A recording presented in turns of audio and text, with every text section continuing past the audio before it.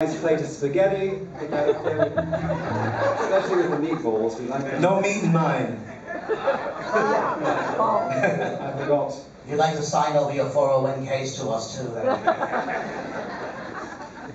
What does that mean? How about the number one hit record written by George Harrison?